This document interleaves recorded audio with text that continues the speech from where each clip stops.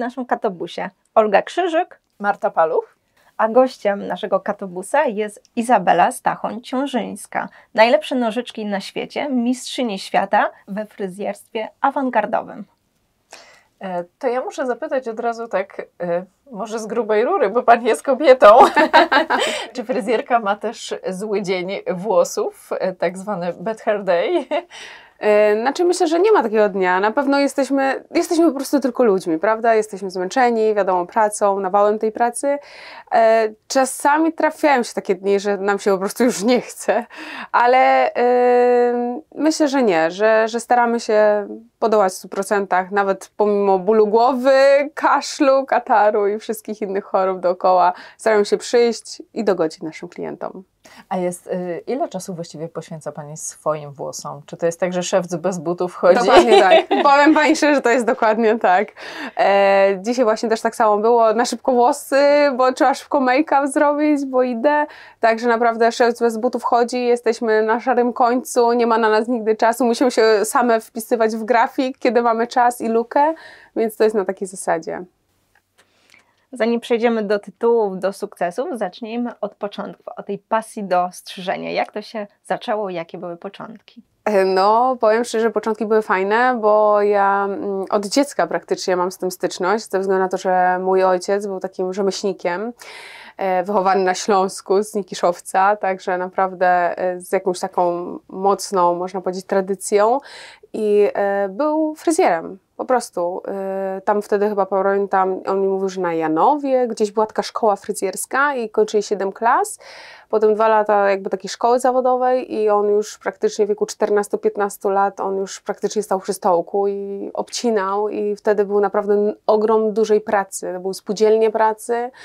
E, więc e, te początki ja, jako, jak się już urodziłam, mój miał 44 lata, to już byłam ostatnia, ale e, wtedy już miał jakby swój salon, pracował również dla spółdzielni pracy i to się tak zaczęło, że ja przychodziłam do salonu, czy chciałam, czy nie chciałam, byłam w tym salonie, przychodziłam i wszystko obserwowałam. I od dziecka Pani podpatrywała od dziecka. Od Ale dziecka. to było takie marzenie, żeby pójść w ślady taty, czy zrodziło się to później? A może znaczy... na przekór Pani chciała w ogóle pójść inną ścieżką kariery. Znaczy, powiem szczerze, to też tak było, że moja mama też była fryzjerką, bo to jeszcze nie dokończyła. Moja mama też była fryzjerką i, ym, i to było na takiej zasadzie, że poznali się w ogóle właśnie w tych spółdzielniach pracy, poznali się w innych zakładach. I wtedy było tak, że można było się wymieniać. Jednego nie było w jednym zakładzie, to szedł do drugiego. Tego nie było w tym zakładzie i się tak wymienili, się poznali. W obrębie oczywiście Katowic, bo to była pocztowa, była właśnie teatralna, była y, dyrekcyjna, z tego co pamiętam. Był jeszcze hotel Katowice i hotel Silesia. I oni się jak gdyby tak rotowali w tych punktach. Y, I powiem szczerze, że... Mm, czy ja chciałam? No, nie było nie, innego wyboru. No, mi się wydaje, że moi bracia zaczynali. Ja w ogóle pomimo powiedziałam, że nie, zaparcia, nie będę, nie będę fryzjerką, nie, absolutnie. Moja mama zawsze to było jej marzenie. Ale ja powiedziałam, że nie będę tą fryzjerką, no ale potem wyszło właśnie tak, że zostałam tą fryzjerką i wcale się z tego powodu nie nie cieszę, tylko bardzo jestem w ogóle zadowolona, bo nie widzę się w ogóle w innej pracy. Już to przemyślałam naprawdę, nie widzę się w ogóle w innej pracy i twierdzę, że to chyba tak miało być, że ta droga mnie tak pokierowała. A jaki był ten wymarzony wtedy zawód? Y, co przyciągało bardziej niż fryzjerstwo? Moja mama była Hiszpanką, mm, taką rodowitą. Y, urodziła się w sumie we Francji podczas tam wojny. I y, jej rodzice byli Hiszpanami. Przyjechali tutaj do Polski podczas jakiegoś takiego mm, buntu, całej tej historii, która tam się, taka kolebka.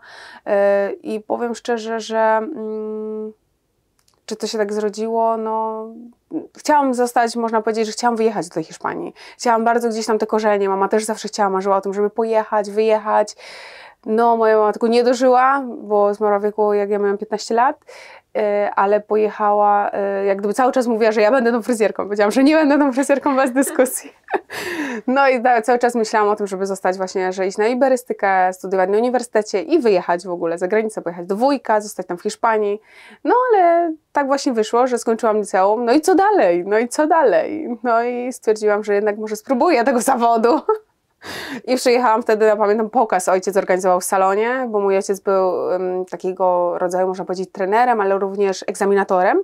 I stworzył pokaz dla swoich pracowników w salonie i przyjechał y, z Chrzanowa Paweł Dudek Ja zrobił pokaz, ja powiedziałam, że jak będę chciała, to będę chciała mieć u niego praktyki. No i tak też było. To jaka była ta pierwsza fryzura? Czy pamięta Pani, nie wiem, swoje pierwsze cięcie albo swoją pierwszą yes, koloryzację? Pamiętam no, dzisiaj. Także generalnie to trwało cały dzień. Całe wielkie, szef zawsze to stało, o nie tak, o nie tak, no to nie tak ta ręka nie taka, więc to było prawda, koleżanka umęczona, bo cały dzień musiała być na tych praktykach. W międzyczasie wiadomo, jakiś obiad, jakiś, jakiś lunch y, i powiem Wam szczerze, że to było naprawdę no, no fajne doświadczenie, więc myślę, że y, wiem, co przeżywają uczniowie, jak przychodzą do nas. Nie? A wcześniej były jakieś próby, na przykład koleżanką z klasy, jeszcze ze szkoły, robienie jakichś fryzur, czy obcinanie lalką włosów? E, obcinanie lalką włosów to był standard. Także to był standard, e, więc cały czas obcinałyśmy, ale coś tam na przykład krzywo mi nie wychodziło, więc ja jeszcze docinałam, docinałam, docinałam, że jeszcze to musi być równiej, także było to takie właśnie fajne w tą stronę. A jak patrzy Pani dzisiaj na przykład na to, że jest taki trend, że ludzie się sami obcinają, Mhm. E, nie wiem, e, oglądają sobie tutorial w tak. internecie. super, jest super. No właśnie tak. E, jest w stanie pani poznać na przykład, że to ten błąd zrobił fryzjer i, i to jest z znaczy, fryzjera błąd, a to ktoś się nie chce przyznać, ale sobie tam coś sam podcinał. Generalnie to widać w ogóle, że to nie jest moja ręka, że nawet jak klientka mówi, że ja chodzę tylko do pani i ja nic tutaj nie robię, oczywiście, że nie. Ja to po prostu widzę. No widzę, że włos jest odcięty z inną stronę, a ten jest w inną stronę, troszeczkę krótszy, dłuższy, ale dobrze, że na tyle klientka się godzi, żeby ściąć włosy, że ja jak gdyby nie przejmuję się tym, bo po prostu ścinam to do tego najkrótszego momentu. Dużo było takich sytuacji, że trzeba było ratować włosy, bo ktoś sam się bawił z kolorem albo ze tak. strzyżeniem? Z kolorem to jest często, bardzo często. Kobiety się same bawią, no bo to jest drogi interes, że tak powiem. Nie wszystkich stać, żeby tak sobie przyjść do salonu i, i zrobić sobie tę koloryzację, bądź na przykład rozjaśnianie, bo to już jest, koloryzacja to troszeczkę taniej, a rozjaśnianie to już jest takie i godzina, Poważne i prace zabieg. poważne, intensywne, no i to też godzina pracy, że tak powiem, liczymy. E, no i tam jest dużo takich rzeczy do ratowania, bardzo dużo. Mieliśmy też taki przypadek, e, nawet już nie z koloryzacją, ale po covid klientka włosy do pasa z ogromnym kołtunem, 8 godzin go rozczesywałyśmy. Także dziewczynie uratowałyśmy włosy, bo nie szło tego w ogóle, jeden ogromny dread na włosach, także to też było takie, no to i tak, że nie było jednego cięcia, no, tylko próba. Naprawdę, to była taka próba, uczennice, my dochodziłyśmy, odżywki, pianki, wszystko, co było możliwe, żebyśmy tylko rozczesały te włosy. Dziewczyna to tyle tabletek przeciwbólowych zjadła, przy nas, także ból niesamowity. Ale no, jeżeli chodzi o włosy i koloryzację, to jak najbardziej e, są takie przypadki, których musimy ratować. Nawet na co dzień się z tym zmierzamy, bardzo często. No właśnie, czyli są takie telefony. E, ja przyjdę, bo teraz już muszę, bo coś mi się z tymi włosami podziało. Tak. E, to jest ulubione wyzwanie, czy raczej nie lubi Pani tego? Wolałaby Pani y, tak w idealnym świecie, żeby przychodzili ludzie po no, prostu? Tak by było idealnie, to by było za idealne, ale właśnie, bo to jesteśmy fryzjerami takimi mocno kreatywnymi, żeby i to właśnie zrodziło mnie taką pasję, bo jesteśmy kreatywni, bardzo szukamy dużych rozwiązań, y, co możemy zrobić, jak możemy zrobić, jak podejść do tematu i fajnie, że się wymieniamy doświadczeniami, czyli jest fryzjerka, pytamy się, słuchaj, położyłabym ten kolor, nie, dobra, zróbmy ten, no to przetestujmy, kosmyk włosa, ok, okej, na myjce, dobrze, to zrobimy to tak. Także ustalamy sobie plan działania nawet wspólnie czasami, żebyśmy też nie popełniły sama na siebie jakiejś takiej winy, nie przyjmowały i zawsze też sobie radzimy razem. To jest tak, że wybiera się fryzurę taką, która pasuje klientowi, czy ktoś przychodzi już z myślą, co chce mieć na głowie, że to jest rozmowa? Oczywiście, Instagram robi swoje, także ja chcę mieć to. To jest w ogóle standard u nas, ale powiem Wam szczerze, że generalnie no, lubimy takie tematy, tylko mówimy, że to jest Instagram. Tu są różnego rodzaju światła i cienie, zależy co ona widzi na tym kolorze włosów, w tym kolorze włosów. Czego, ja przeważnie pytam, czego ona nie lubi w swoich włosach bo to jest przede wszystkim dla mnie to, i jakiego koloru by na przykład nie zniosła. I mówię, co mogę osiągnąć z tych włosów, że za pierwszym razem nie da się wyjść czasami z niektórych opresji, które tam są i trzeba po prostu cyklu zabiegów na włosach. Jak często zdarzają się takie wyzwania, że ktoś przychodzi i mówi, e, to ja bym po tej wizycie chciał wyglądać zupełnie inaczej? A to też bardzo często. O 20 lat młodziej na przykład. Także... No właśnie, czy są takie wyzwania, że nie wiem, że chciałbym, e, no, żeby mnie to troszkę wyszczupliło, Miło żeby, e, tak. żeby nie przyciągało wzroku do moich mankamentów, tylko żeby ta fryzura zrobiła taki efekt wow. Albo pewnie kobiety mówią, chcę wyglądać zupełnie inaczej. Znaczy, tak, tak, to jest bardzo często. Generalnie też patrzymy sobie jednak na symetrię, na twarz, na całą postawę ciała, na to, gdzie pracuję, bo to też od miejsca niestety też zależy, bo nie mogłam zrobić, nie wiem, czerwonych włosów pani, która no, zrobiłam, zrobiłam, także wiem, jaki potem miało to odzew. Także y, no, raczej się staramy dopasować bardziej tak stonowane kolory. Mówimy, że dobrze, w porządku, ale żebyśmy to zrobiły na początku, żebyśmy spróbowały może jaśniejszy odcień, potem intensywniejszy, więc bardzo tak delikatnie sobie wchodzimy y, w ten temat, żeby te klientki też zrozumiały, że to tak, taka radykalna zmiana to też nie jest dobra. A było tak, że odmówiła Pani na przykład, że ktoś chciał mieć, nie wiem, nie, niebieskie włosy, a Pani wiedziała, że nie będzie w tym dobrze wyglądał. E, No to staram się właśnie wybrnąć sytuację, to zróbmy kosmyk, zróbmy gdzieś front blond, zróbmy właśnie może jakiegoś slice gdzieś tu na boku, zróbmy na początku próbę tego, czy będę się w tym dobrze czuła, czy ten kolor będzie idealny dla mnie, bo ja mogę powiedzieć, że tak, pani powie, że tak, a wyjdzie zupełnie inaczej, nie? Więc ja się na co dzień będę widziała w lustrze i będę sama siebie widziała, więc to będzie nie ten kolor. Nie to. Także no, staram się odmówić na, bardzo dyplomatycznie, o, może tak. A zdarza się, że na ulicy na przykład mówi Pani komuś, że mm, to nie te włosy. Albo nie Albo ta to nie fryzura. To nie to. Generalnie Ma nie, Pani taką pokusę. myśli, No, Co by tu O, zmienić? myśleć, myśleć to nie powiem, że nie, nie ukrywam tego, także myślę na pewno, e, że to nie pasuje, ale nie lubię też na przykład, jak przychodzi do mnie klientka, bo ja byłam u takiego super fryzjera, on mi super włosy zrobił i teraz ona oczekuje tego samego ode mnie, a ja mówię, że już nie jestem takim super fryzjerem, jak tamten fryzjer, bo tamten jest najbardziej super, więc nie lubię też obgadywania innych, bo widzę, co po prostu jest na włosach, także staram się tych naszych fachowców nie, e, nie obgadywać, no każdy, każdy może gdzieś tam popełnić jakiś błąd na włosach, coś nie wyjść do końca, farba, farbowanie, ale staram się ratować sytuację i powiedzieć, że po prostu to był zamierzony cel, tak miało być, to miał być ten kolor dla Pani, dzisiaj będzie inny. Także na takiej zasadzie. Ma Pani dwa salony tutaj Tak. w Katowicach. W którym miejscu? E, Mam na ulicy w sumie Rynek 8. E, Jest to wjazd od ulicy Teatralnej, bo tą drogę zamknęli. Kiedyś była to droga, która można było przejeżdżać, teraz już nie. I drugą mam na ulicy Batorego 4 e, z tyłu dworca. Ten salon na rynku jest salonem mojego ojca, mm, który na początku prowadził przez właśnie zakłady pracy, potem się jakby sprywatyzowali ze wspólnikiem, no i później e, wspólnik, e, jak gdyby wspólniczka, bo później została żona, dogadali się z ojcem i został jak gdyby sam na salonie. Także prowadzę ten salon po ojcu, a ten drugi, e, że tak powiem, też kupiłam od, od ludzi, którzy też jakby znali mojego ojca. Czy Katowice to dobry rynek właśnie na taki biznes? Myślę, że tak. Myślę, że każda miejscowość jest dobra na, na taki biznes, yy, że tak powiem, zawsze będziemy włosy obcinać. To mi zawsze powtarzają, zawsze będziemy włosy obcinać i zawsze na chleb zarobimy, tak mi mówiły kiedyś moje szefowe. Także pamiętam, jak potem trafiłam do drugiej osoby, ona mówi, jak będziesz obcinać, to na chleb zarobisz. Było takie podejście.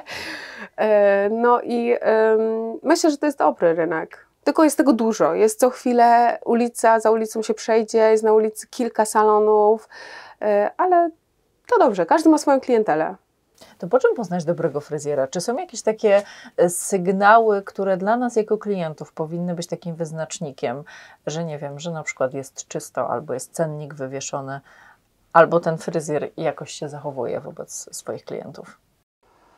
Jak poznać dobrego fryzjera? Myślę, że trzeba do niego iść, go przetestować przede wszystkim. Czy nam się podoba. Ale to może być bolesne. No może być bolesne, szczególnie dla kobiet, to fakt, to fakt. Ale myślę, że to trzeba przetestować. Wiadomo, że opinie są ważne. E, tak jak Pani mówiła, że czystość, to, to, to praktycznie musimy cały czas o to dbać. O to, żeby było czysto w salonie, żeby fajna atmosfera była, żeby było ciepło, miło, przyjemnie i żeby też każdy się tam dobrze odnalazł, nie? Bo jeden na przykład powie, że się nie odnajduje w tym salonie, bo to nie jego jakby temat i po prostu wychodzi. Więc A pani tak, do kogo chodzi do fryzjera? Sama wszystko robi ze swoimi włosami? Czy Nie, ktoś to tam? Nie no, generalnie tak jak powiedziałam, robimy to na sobie, więc generalnie z koleżankami, ale często jak jesteśmy na szkoleniach, to mm, jesteśmy same modelkami, bo nie ma dla nas czasu, więc jak już idziemy na szkolenie odnośnie koloryzacji, to jedziemy dwie albo trzy. No i jedna z nas na przykład już jest modelką, że już wiemy, że jest modelką, bo po prostu nie ma na nią nigdy czasu. I zawsze wybieramy tą, która ma najdłuższe e, rzeczy do zrobienia na tej wąsce. w ogóle nie ma czasu, naprawdę. Ale raczej na sobie, tak. Jesteśmy same sobie fryzjerkami. Może ja sama się nie obcinam, e, nie farbuję włosów, ale mamy uczennice, więc fajnie im idzie. Mam bardzo dużo uczni na salonie, także też staramy się pokazywać, żeby ona też, pomimo że błędy są, to róbcie, róbcie, uczcie się, bo to właśnie błędy po to, żebyście się uczyły. To jest taki zawód, w którym ciągle trzeba się kształcić. Nie Cały czas. można uznać, że jestem fryzjerem i właściwie to, co wiem, to już wiem i to mi wystarczy do końca życia. Dokładnie tak. Ja myślę, że to jest tak kreatywny zawód, że trzeba cały czas się rozwijać. Pomimo, że nam powie, ja takie fryzury robiłam 20 lat temu. No okej, dobrze, ale dzisiaj się robi troszeczkę innymi technikami, innymi narzędziami, inaczej się chwyta te narzędzia. Myślę, że cały czas się trzeba szkolić. Ja wróciłam na przykład z mistrzostw yy, we wtorek, a w sobotę byłam na szkoleniu na przykład. Także twierdzę, że to trzeba cały czas się szkolić i to nie byłam na szkoleniu jak gdyby tym związanych, yy, bo teraz się przygotowujemy oczywiście do Mistrzostw Europy, także to nie było takie szkolenia związane typowo z moimi główkami, czy tym, co robię na yy, konkursach, tylko zupełnie inne, takie barberskie szkolenia. No właśnie, jak się wygrywa takie No mistrzostwo? właśnie, pojawił się ten temat, Tak. więc Jedzie Pani na nie sama, z rodziną? Eee, zespołem właśnie? Generalnie w ogóle, żeby się zrodził taki temat, to na początku trzeba przejść kilka konkursów. Ja zaczęłam e, bardzo dawno temu, można powiedzieć, startować w konkursach. Nie startowałam jako uczeń, dlatego że ja już nie mogłam startować, bo miałam 19 lat, jak zaczęłam dopiero przygodę z fryzjerstwem. I e, nie mogłam startować jako uczennica właśnie w takich zawodach regionalnych tutaj, bo takie też są. E, no i potem uczyłam, gdzieś tam jeszcze w międzyczasie studia zrobiłam, ale ja tak lubię chyba bardzo dużo pracy, także y, uczyłam się, chodziłam na konkursy, oglądałam, jeździłam na różnego rodzaju targi i bardzo mi się to spodobało. Miałam swojego trenera, który gdzieś tam też mnie prowadził. Potem stwierdziłam, że sama troszeczkę y, zawalczę, więc zawalczyłam i to było właśnie przed pandemią. Potem trafiła nas pandemia, bardzo tak brutalnie można powiedzieć, troszkę, ale były też konkursy online, więc też starałyśmy się wysyłać uczni, pomagać im w tych fryzurach pomiędzy klientkami. Ja też również wysyłałam, też tam dostawałyśmy nagrody za to. Yy, No i to tak się właśnie zrodziło, żebyśmy po prostu w tych uczniach, ja dużo też widziałam w uczniach yy, tego, że oni po prostu chcą. Ten, który chce, to naprawdę on idzie w to, także yy, to też tak z miłości dla nich chyba. I to tak się wszystko ładnie zrodziło, żeby im pokazać, że właśnie warto, że jest dużo pracy, ale jest też kreatywnej pracy. Oprócz tego, że my pracujemy i jesteśmy w pracy, to jest jeszcze ta druga rzecz, którą możemy zostać, poczesać, zrobić coś fajnego. I był ten wyjazd do, No właśnie. do Włoch. Tak. I był ten wyjazd do Włoch. I w tych Włoszech było tak, że mm, trafiłam e, na te konkursy. No i stwierdziłam w zeszłym roku, że chciałabym przystąpić do kadry. Po moim konkursie w, w Poznaniu stwierdziłam, że chcę przystąpić do kadry. No i przystąpiłam do kadry e, w tym roku. I w tym roku zdobyłam mistrza Polski. Z nimi, dzięki nim, można powiedzieć, dzięki kadrze mojej CMC. I tam się zrodził pomysł, że no to wyjazdu do Włoch. Do Bo musimy Świata. zaznaczyć dla tych, którzy nas słuchają, że to nie jest tak, że pani jako fryzjerka może się zgłosić po prostu na Mistrzostwa Świata Nie. i stwierdzić jadę. Nie, to tak nie można. To trzeba y, należeć do kadry. Kadry są dwie w, Pol- w Polsce, takie reprezentujące Polskę na skalę międzynarodową. I właśnie ja należę do jednej, nazywa się CMC Poland i do niej wstąpiłam. Ja Też ich znam osobiście, jako trenerów, jako wcześniej fryzjerów.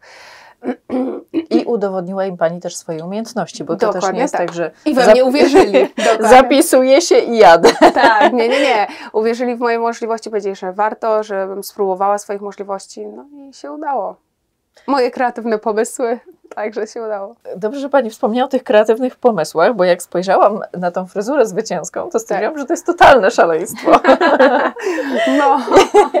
jak się wymyśla y, właśnie taką, mogę powiedzieć, konstrukcję już na głowie, bo, bo to nie jest fryzura taka na co dzień.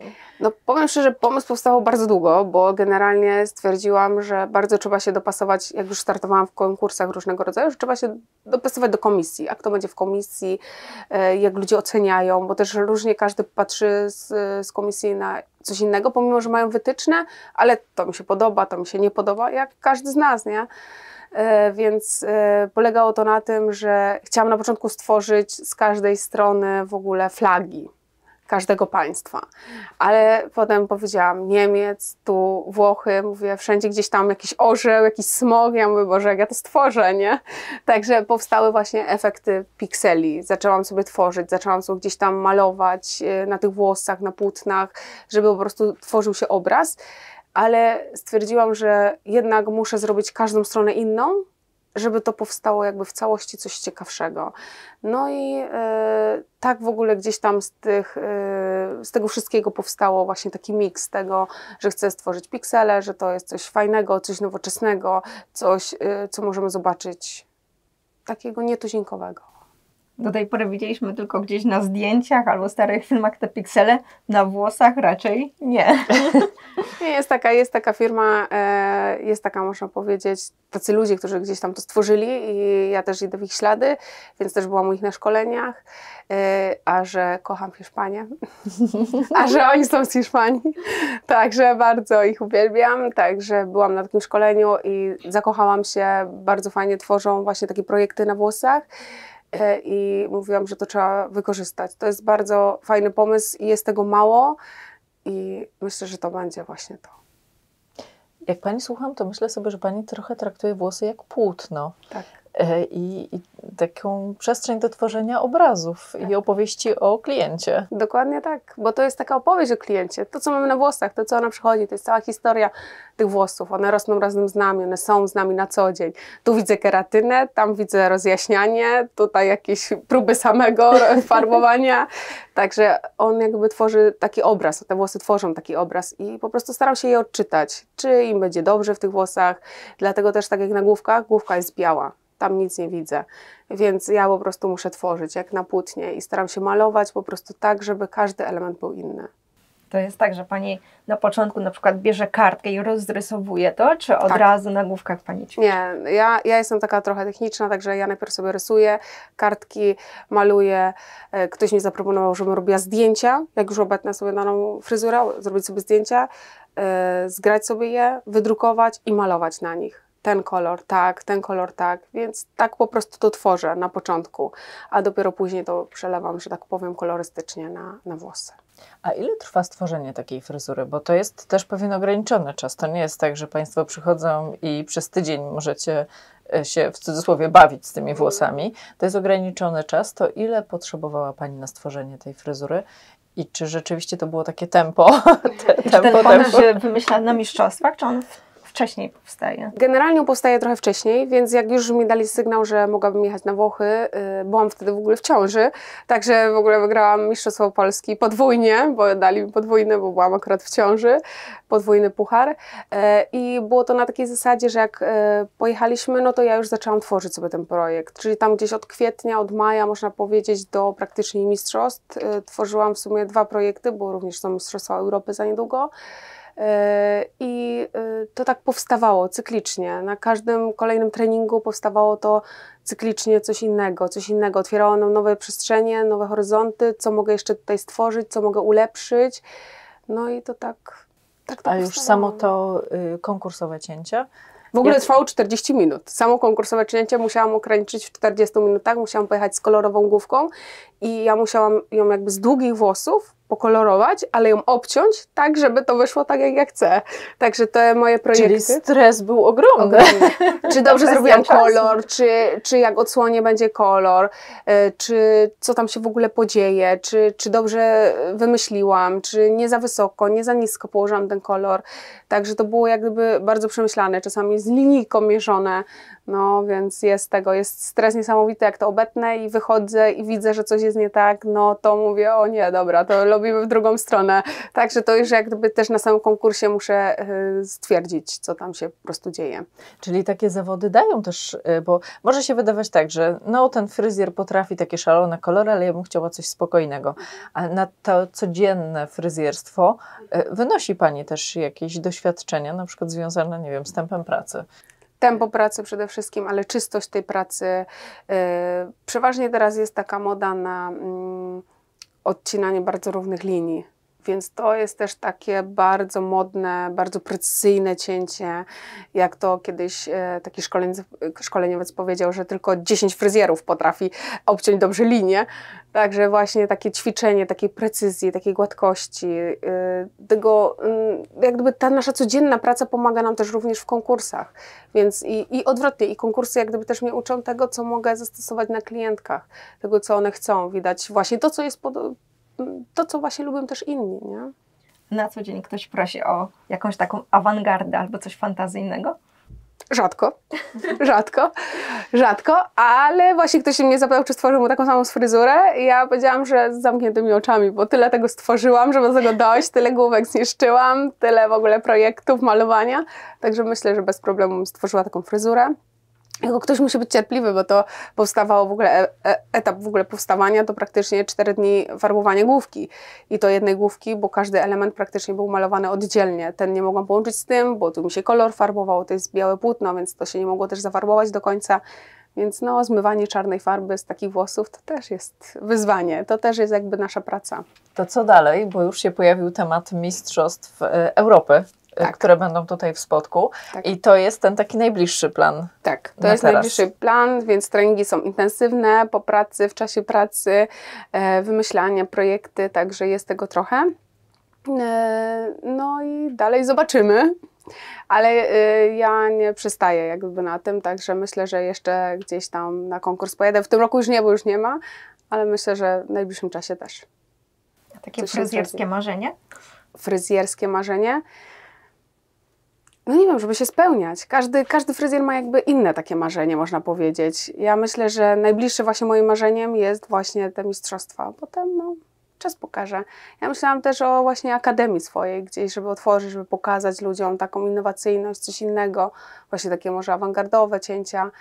No ale to już wtedy y, na szkoleniach do mnie zapraszam. Bo Pani bardzo lubi uczyć i lubi się dzielić swoją wiedzą, prawda? Tak. Pracowałam też swojego czasu w szkole, mm, nawet długo, można powiedzieć. Po studiach również pracowałam mm, w szkole, ale mm, też w takiej szkole zawodowej przez 4 lata, także widzę, że dzieciaki w szkole, miałam z nimi 6 godzin w ciągu, oni po prostu, pisanie to jest dla nich dramat, oni po prostu lubili coś tworzyć na tych włosach. Więc widziałam tą inspirację właśnie, między innymi widać było kto chce, kto nie chce być tym fryzjerem, jak oni się w ogóle przykładają, więc bardzo lubię taką przekazywać taką wiedzę. A zu, słuchaj, a spróbuj to tak, a zrób to tak, a może tak. Więc na każdy sposób staram się im pomóc. Tradycją katobusa jest to, że czekamy na pytania od widzów i takie padły. Okej, okay. słucham, słucham. Jak osiągnąć sukces w tym zawodzie? To było pierwsze pytanie. No, powiem Pani szczerze, że dobre pytanie. Generalnie myślę, że to małymi krokami trzeba. Na początku trzeba stworzyć sobie taką, taki dystans, trochę taką pasję w tym zamiłowaniu fryzjerskim, nie tylko szkoła, bo oni tam nudzą i w ogóle. Nie, nie. Trzeba po prostu pójść swoją drogą określić, że chcę to robić, że chciałabym się w tym sprawdzić, chciałabym osiągnąć w tym sukces i takimi małymi kroczkami dążyć sobie do tego. Tylko oczywiście bardzo duże doświadczenie trzeba przejść. Nie od razu ja kończę szkołę, będę konkursy i ja będę dużym mistrzem. Nieprawda. To naprawdę trzeba mieć ogrom doświadczenia w tym. To taka rzemieślnicza praca. Bardzo rzemieślnicza bym powiedziała. A jaki był najbardziej zaskakujący kolor, na który ktoś zażyczył sobie zafarbowanie włosów? Czy pamięta Pani taki kolor? E, generalnie dla mnie nie ma szalonych pomysłów. Generalnie już robiłam tęczę na głowie, tęczę na odroście, gdzieś tam jakieś piksele też tworzyłyśmy z taką klientką na włosach, także no, były takie ciekawe projekty. E, czy prawie połowa głowy wygolona, drugi kolor inny, bo teraz jest na przykład taki trend, że biało-czarne, że musi być jeden biały, drugi czarny, więc też się trafiała, tak, trafiła taka klientka, która tak chciała, także to, to wychodzi po prostu od nich. A jest jakiś kolor, który zawsze wyjdzie źle na włosach? Że, nie wiem, zielone włosy chyba nikomu nie pasują? Czy nie ma takich kolorów, tylko muszą być dobrze położone? O właśnie, bardzo dobrze ujęto. Tak, no było tak. To było pytanie, no tak. E, ja myślę, że właśnie dobrze położony kolor to jest podstawa, a mm, druga, czy będzie pasować, no to nie wszystkim pasuje też do końca, nie? Więc dobrze, że ona się odnajduje, ta dana osoba w tym kolorze. Wtedy jak najbardziej będzie jej to pasował, jeżeli to wypływa z jej wnętrza, bo jeżeli stwierdzimy, że mm, przyjdzie do mnie taka, nie wiem, pani, która pracuje w bibliotece, a ona sobie zażyczy tęczę na włosach z zielonym połyskiem, także to też nie wiem, czy takie coś wyjdzie dla niej i czy to będzie akurat dla niej dobre. Mamy jeszcze kolejne pytanie. Czy klienci proszą o fryzury w stylu jakiejś popularnej obecnie lub dawniej gwiazdy telewizji, znanej aktorki na przykład. Tak, bardzo często. Bardzo często mówią, y, rzucają mi imię, nazwisko. Czy pani to widziała? Ten ostatni program. Ja mówię, tak, tak, oczywiście, że ja wszystko oglądam. Ja w ogóle czasu na telewizję nie mam. To po pierwsze.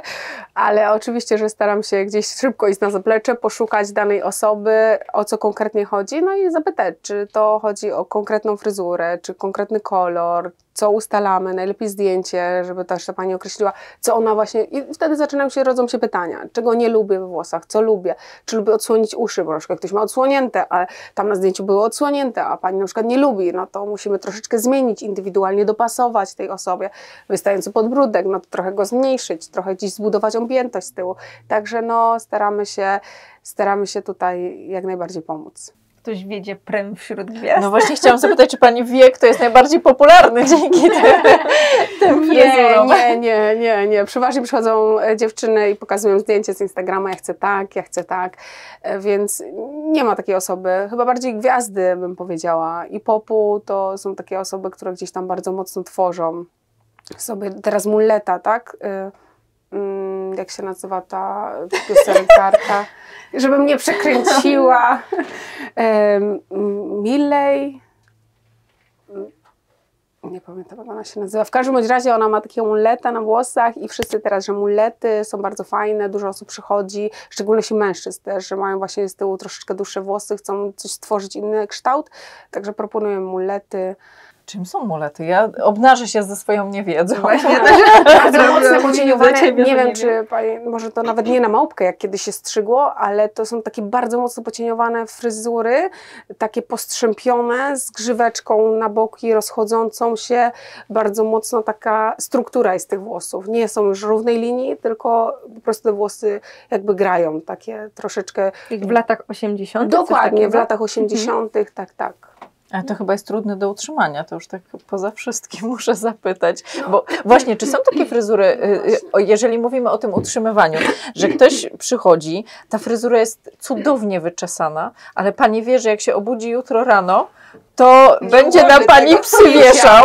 Wiedziałam, że to będzie pytanie. Generalnie tak. Przyszła do mnie też taka klientka w prostych włosach, ona chce takie. Ja mówię, ale to pani nie będzie, ale ja chcę takie. A ja mówię, to musimy dopasować do włosów prostych, a nie do włosów kręconych, bo pani się to w ogóle nie sprawdzi. Nie będzie w ogóle mm, takiego polotu na tych włosach. Musimy to inaczej zupełnie zrobić, stworzyć indywidualnie dla pani, więc staram się przekonać, że to nie jest to. Ale jest tak, jest tak, trafia się tak. Do czego się życzy e, fryzjerce przed tak ważnymi zawodami? Trzymać kciuki. połamania nożyczek. A, połamania nożyczek, dokładnie tak. Trzymamy mocno kciuki, życzymy połamania nożyczek. Nie dziękuję. Bardzo serdecznie dziękujemy za rozmowę, inspirującą przede wszystkim. Z nami była Izabela Stachoń-Ciążyńska, mistrzyni świata we fryzjerstwie awangardowym i właścicielka dwóch salonów fryzjerskich w Katowicach, a być no. może Akademii w przyszłości. Tak jest. Dziękujemy serdecznie. Dziękuję bardzo.